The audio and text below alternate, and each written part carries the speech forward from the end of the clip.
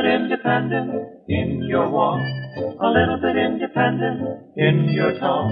There's nothing like you in Paris or New York.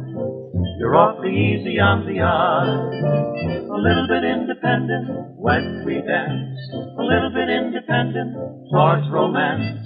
A bit of sophistication in your glance. And yet you're easy on the eye. Whenever I'm with you alone, you weave a magic spell. And though it be a danger zone, I only know that you're swell.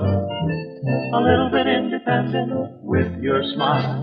A little bit independent in your style. But how can I help but love you all the while? When you're so easy on the eyes.